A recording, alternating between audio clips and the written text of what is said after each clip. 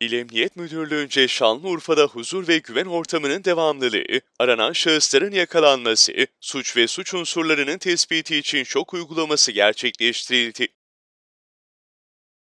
Uygulamada 361 şahıs ve 86 araç sorgulanması yapıldı. Uygulama sonucunda 3 araç trafikten men edilirken 17 araca ise 51.255 lira cezai işlem uygulandı.